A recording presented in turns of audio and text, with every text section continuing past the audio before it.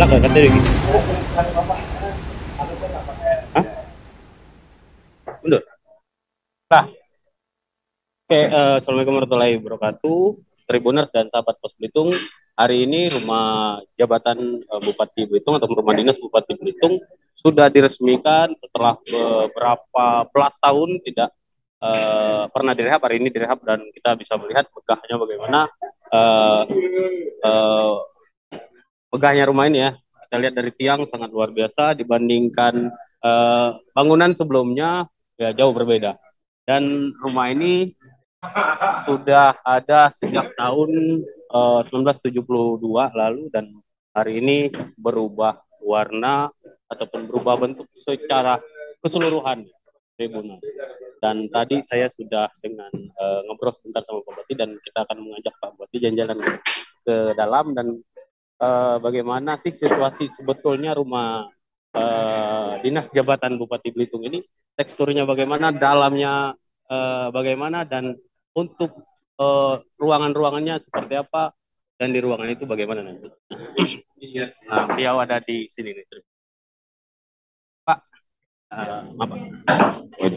Nah ini kita sudah sama Pak Bupati Ya. eh, Belitung Pak Haji Sani Saleh Esos. Ya. Eh, Pak, eh, ini rumah baru nih Pak. Ya. Rumah yang direnovasi menjadi baru. Direnovasi baru. Kita jadi sambil baru. jalan boleh, Pak? Oh, siap, siap, siap. Kita siap. masuk? Ya, ya, ya sama Pak. Lewat mana nih Pak? Pintunya? Nah, saya Oh, siap, pintunya nih, Pak? Ini pintu. Ini pintu utama ini. Dikunci Pak. Berarti nggak boleh masuk. Ya, dia tunggu tunggu dibuka. Oke. Ah, nah Pak, Hmm. sebelumnya kan rumah ini eh lama nih, bangunan lama itu. Iya. Itu tahun berapa Pak? Dibangun tahun 71. 71. 71. Berarti berapa puluh tahun Pak? Nah, itu baru duitnya baru 21 juta 21 Juta.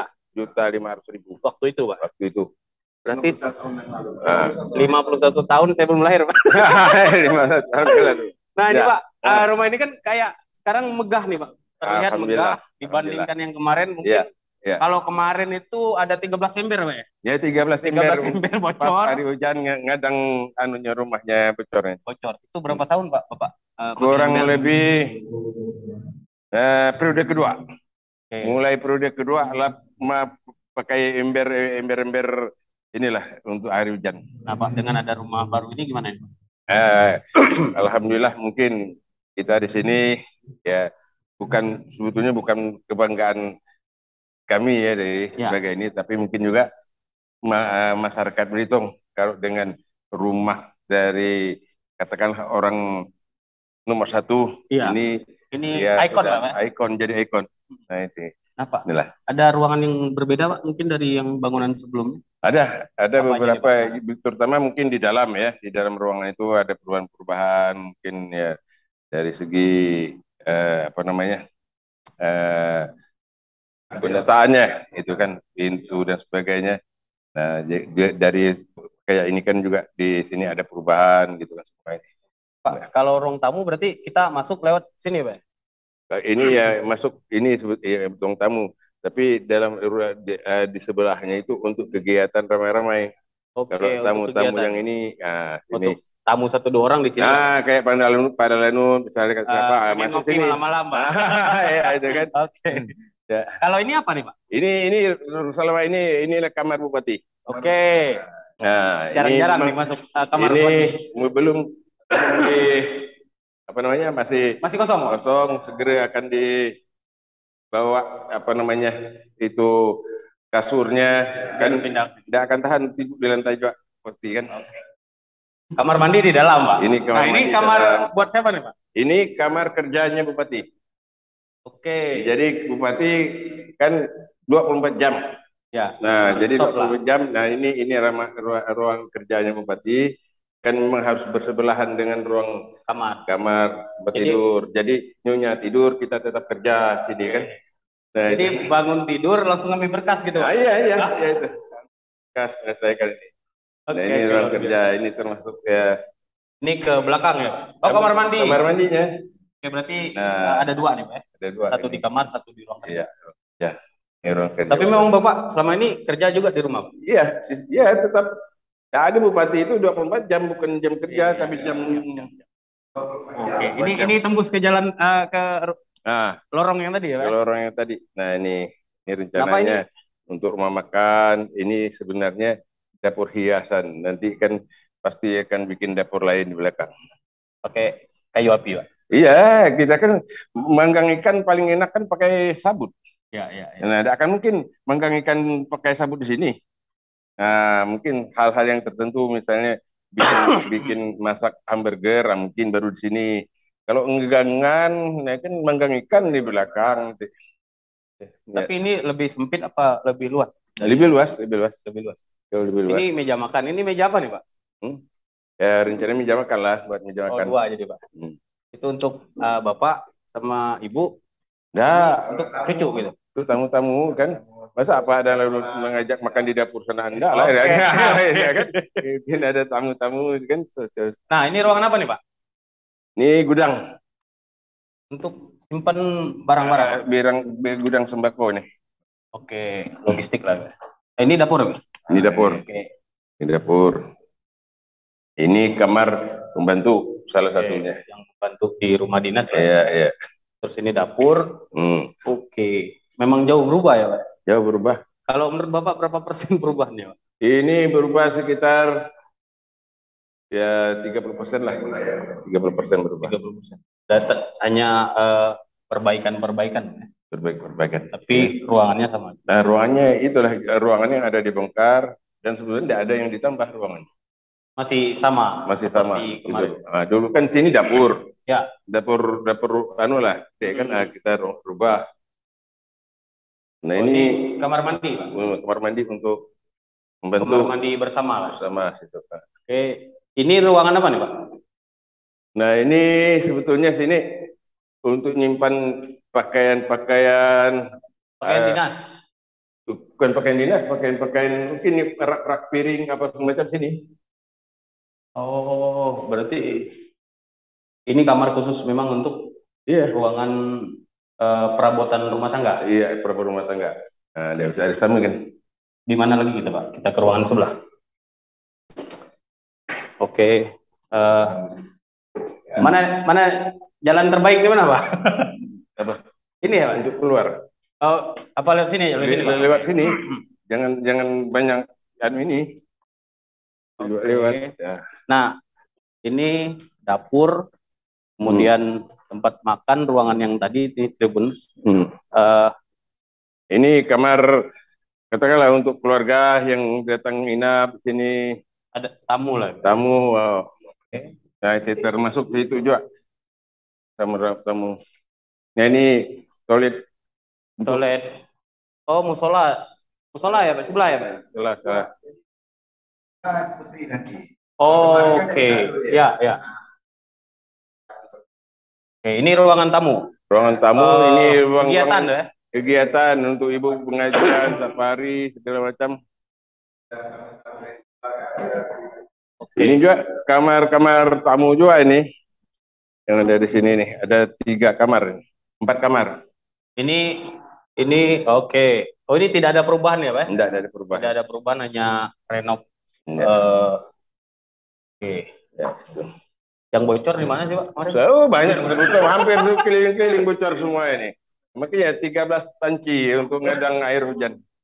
Yang paling gede itu pancinya di sini nih. Yang sini ya? di sini yang sini. Okay. Taruh sini dulu. Pak, ini kan dulu kan kamar, kamar ya? Ah, kamar. Dijebol, Pak. Jebol. Biar luas. Biar luas ya. Oke, berarti tapi tetap nanti uh, untuk tamu-tamu juga. Iya, tamu-tamu acara-acara di sini ya. Satu ruangan. Iya, ini satu ruangan. Sholat gitu ya, safari Ramadan. Oke, Pak dengan ada rumah baru ini gimana nih? Perasaan lah. Ya, sebetulnya tidak ada perasaan apa-apa. Pagi kan saya tinggal berapa bulan aja di sini. Ya. Jadi mungkin yang bilang tadi rumah ini eh, selama sampai masa akhir jabatan tempat rumah singgah. Maksudnya rumah singgah ini gimana? Iya, kita kan sudah pindah rumah pribadi, pribadi. kita. Nah, ya itu mungkin di sini tidak tidak akan secara optimal lah kayak dulu kan. Nah. Tapi artinya dengan sisa waktu bapak yang tinggal berapa bulan tadi hmm. tetap akan pindah ke sini atau? Kita udah sebagai rumah singgah lah. kadang-kadang nginap di sini, Kadang-kadang di kadang-kadang rumah pribadi. ya, itu kan. Pak, dengan ada rumah baru ini semangat kerja gimana? Ya, dan Ada berubah? berubah enggak berubah semangat tetap ber- eh, walaupun rumah Semangat. baru rumah baru apa namanya tetap semangatnya tidak akan pudar apalagi sudah mau mendekat akhir jabatan ini otomatis itu harus ibaratnya ibarat orang lari kemarin makin dekat finish Mungkin harus cepat. ah itu mungkin harus cepat kira-kira itulah Pak, 51 tahun 51 tahun nih rumah ini Hmm. tidak pernah direhab ya dan eh, bocor banyak nih, Pak ya. ya Saya memikirkan ketika Bapak membangun di lain, sedangkan rumah ini adalah tempat peristirahatan yang harus nyaman buat Bapak agar eh, kesehatan eh, Eh. Bapak juga terjaga. Eh. Kenapa nih, Pak? Lama kok lama. gitu. ya itu tadi kita bagaimanapun berpikir kepentingan rakyat dulu ya kepentingan rakyat ya sebagaimana saya katakan semenjak tahun 2014 mulai masuk ini rumah ini ya sudah 13 Pak Seral. eh, sudah ini lah di- kan nah tetapi ya utamakan dulu lah untuk kepentingan Rakyat. Rakyat Uangnya ini. untuk rakyat. Iya, yang untuk penting kepentingan rakyat. kepentingan rakyat. ya itulah memang lah tahun-tahun akhir ini ya kayaknya sudah tidak bisa lagi bertahan kalau awal-awal sudah bertahan kan itu tadi dah, sudah yang terhitung itu 13 baskom kadang-kadang di sini kan Awalnya hanya satu baskom, ya. Ah, ah, ah. Tapi kalau terus dibiarkan pakai drum nanti, Pak. Pakai di rumah, pakai di rumah itulah. Nah, Oke. oleh sebab itulah ya sisi lain ya kita berupaya meninggalkan yang terbaik lah nanti di sini Untuk kan Nah, bupati buat di berikutnya. berikutnya. Tapi kalau dihitung eh kalau ditimbangkan dengan kinerja ya justru itu tadi saya sudah kelihatan finish mau tak mau harus lebih kebut lagi. Kenapa tidak lebih megah lagi, Pak? Dari biasanya kan karena kan gini, rumah jabatan seorang bupati itu kan ataupun kepala daerah itu menjadi ikon Ya. bagi Belitung, Ya, eh, ya. bagi seluruh daerah lah. Iya ya. Apa, Pak? Itulah jangan semata-mata kepentingan kan. Tapi juga kan kalau memang itu kan megahkan duitnya gede. Ya. Banyak. Sementara masih banyak kebutuhan-kebutuhan rakyat lagi yang harus kita penuhi sarana prasarana dan sebagainya. Jadi yang penting presentatif ini. Ya, kalau megah itu kan masing-masing menafsirkannya tepat berbeda. Ya. Kalau pribadi saya ini sudah sangat megah. Oke. Ya, itu ya, kalau bagi saya ini sudah sangat megah. Nah itu Artinya eh, kesederhanaan adalah eh, identik dengan Bapak gitu. Atau gimana? Ya itu saya Ah. penilaian kalian lah. Saya sih enggak enggak enggak ini. Saya saya sih enggak enggak melihat itu ya, tapi penilaian kalian lah gimana ya itu sih. Kalau cuma gitu ya itu. Oke. Nah, eh, ke depannya eh, gimana ya Pak buat rumah ini nanti? Pesan dari Bapak lah. Ya kita berharap ya cita-cita kami dulu hasil lain ada ya. Rumah ini sebetulnya ya eh, kalau dari segi letak geografi, letak tertihitnya Ya. ya kan dengan kondisi perkembangan ini kami rasakan enggak enggak cocok lagi tempatnya di sini. Oke. kita sudah berencana dulunya untuk memindahkan rumah Dinas. dinas baik itu ya rumah-rumah dinas bupati wakil bupati DPR macam kan ya, ke satu kawasan yang kemarin kita berencana untuk di Perawas itu Oke, di area Ah, sport center itu awalnya. area sport center itu kan terpadu sport center Islamic center apa namanya rumah ibadah. rumah ibadah terpadu kemudian kemudian di situ juga rumah pejabat-pejabat kita ini ya, jadi satu di sana kawasan. Tapi eh, kenyataannya sebetulnya kita proses lahan itu sudah terjadi tumpang tindih berbagai macam hal root Belum terselesaikan ini. tidak belum terselesaikan. Akhirnya itulah. Ya, kita rencanakan rumah ini mau jadikan museum dulu Oke. Ya. Oh, sempat terpikir seperti iya itu. sudah sudah terpikir jadikan museum kita walaupun direhab nanti jadikan museum Wah, satu hal ini kan suatu hal kenangan lah disandingkan dengan rumah adat kita Oh, oke. nah Makanya jadi, bersebelahan ya. jadi mungkin jadi museum budaya nanti kan kalau museum geologi sudah kan nah, secara di sama museum kaitan dengan geopark sudah kan nah, museum budayanya kita harus ada di sini nah mungkin di sini dijadikan Nanti, museum tapi budaya Eh, ke depannya itu, Pak. nah mudah-mudahan siap ke bupati ke depan Pemimpin yang berikutnya. menindaklanjuti itu. Nah, sehingga eh, aset ini tidak semata-mata bong, Terbongkar. eh, bongkar pasang. Oke. tapi artinya aset bertambah. Nah, itu tidak, kan tidak terbengkalai tapi uh, bermanfaat untuk iya, masyarakat. terutama untuk sektor wisata kita. Ya siap, ya, ini sektor wisata. Nah itu kira-kira ke depan. Terima kasih Bapak Sama -sama. Uh, sudah ngajak saya jalan-jalan ke keliling rumah dinas yang baru.